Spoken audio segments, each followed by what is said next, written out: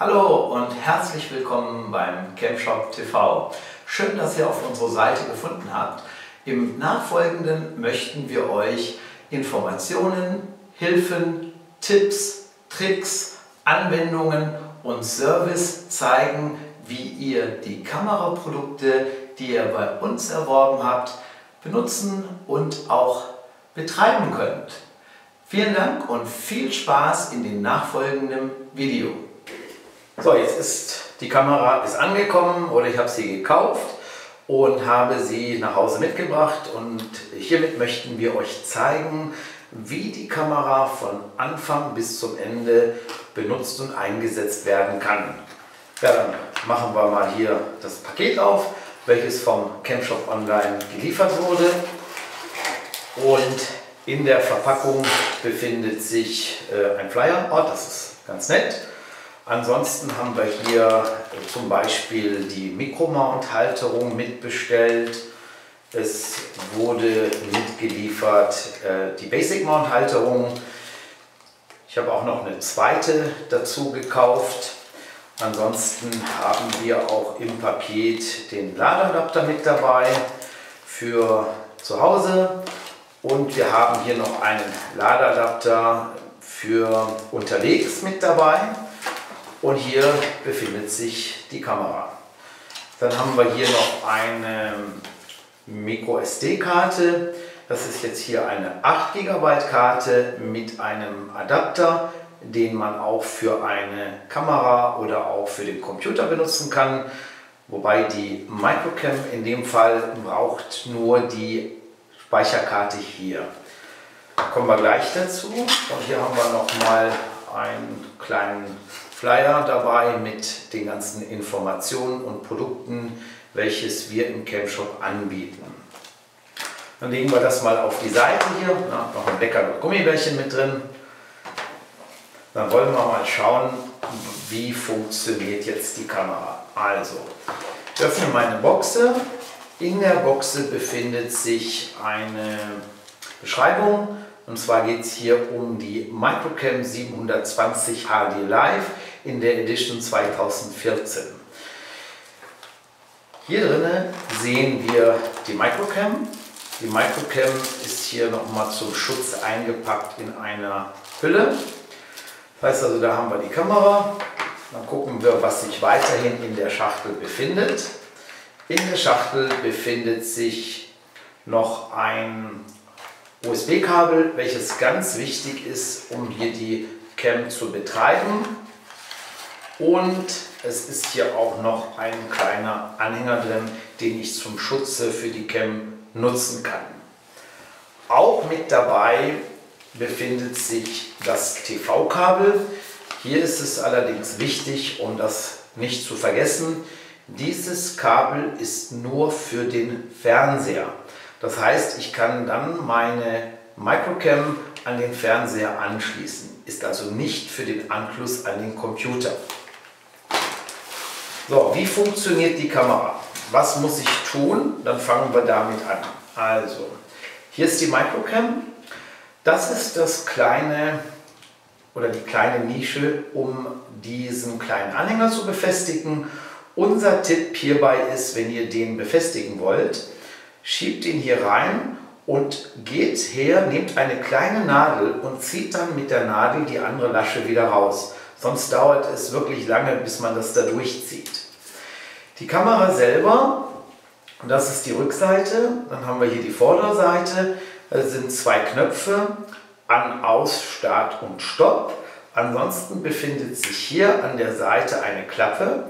Hier kann man ganz schön erkennen, das ist der Port für den USB-Anschluss zum Laden und auch für zum Datenübertragen. Hier ist ein kleiner Reset-Knopf, das hier ist der Spalt für die MicroSD-Karte. Das heißt, die MicroSD-Karte muss als erstes mal eingepflegt werden. Wir können hierfür verwenden MicroSD-Karten bis 32 GB. Schauen wir uns das an. Den Adapter brauchen wir zunächst für die Kamera nicht. Wir brauchen nur die kleine MicroSD-Karte. Die lösen wir jetzt hier aus diesem Kunststoff raus. So, Das heißt, MicroSD-Karte muss so eingeführt werden, dass ihr seht, sie zeigt nach oben. Wird also hier eingeführt. Jetzt gibt es hier eine kleine Feder. Ihr seht, diese Feder hier heißt, ich muss mit meinem Nagel über den Punkt drüber gehen. Das heißt, damit die einrastet. Wenn ich sie wieder raus haben will, muss ich dann wieder einfach mit dem Nagel drücken und hier kommt sie wieder raus. Das bedeutet also Kamera hier auch in dieser Position, Karte rein, drücken, bis sie einrastet, also über den Punkt, dann klickt es, jetzt ist sie drin. Sehr schön. Jetzt können wir das Gehäuse hier schließen und jetzt nehmen wir die Kamera mal in Betrieb. Also, dieser Knopf ist unser Startknopf. Das heißt, einmal anschalten, was passiert? Es hat kurz geblinkt, jetzt leuchtet das Licht auf Dauerlicht. Das heißt, Kamera befindet sich im Standby. Jetzt machen wir folgendes, drücken diesen oberen Kameraknopf einmal und dann fängt das Licht an zu blinken. Wenn sie blinkt, ist sie jetzt im Aufnahmemodus.